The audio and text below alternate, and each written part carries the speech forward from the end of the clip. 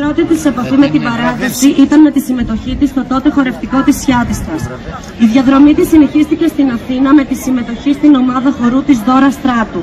Το 1970 δημιουργεί τον όμιλο ελληνικών χωρών Ορφεύς και ένα δεϊστιάριο με ελληνικές παραδοσιακές φορεσιές, το οποίο περιέχει περίπου 3.000 φορεσιές από όλα τα μέρη της Ελλάδας. Το χορευτικό του ομίλου στα 50 και πλέον χρόνια ζωής του εμφανίστηκε σε πολλά διεθνή φεστιβάλ παρουσιάζοντας επάξια την ελληνική παράδοση.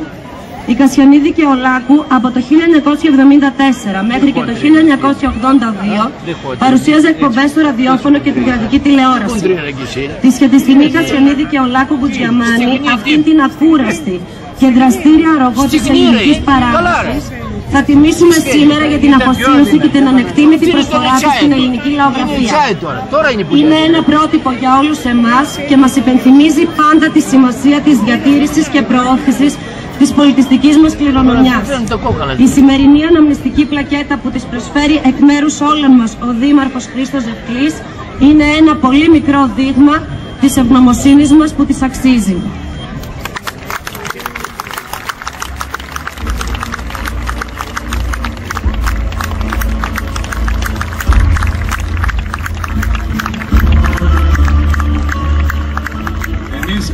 Καμαρώνουμε τους ανθρώπους που προσφέραν, που διακριθήκαν και όταν ήταν εδώ, αλλά και δεν μας ξεχάσαν όταν φύγαν μακριά.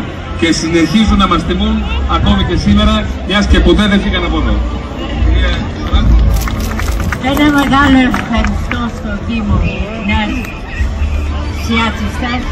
Ένα μεγάλο ευχαριστώ στον κύριο Δήμαρχο και στο Δημοτικό Συμβούλιο για την τιμή που μου κάνανε απόψε. Είμαι περήφανη που γεννήθηκα στη Σιάτιστα και μεγάλωσα με όλες τις παραδόσεις. Είμαι περήφανη που ακούω πάντοτε τόσα ωραία πράγματα να γίνονται εδώ.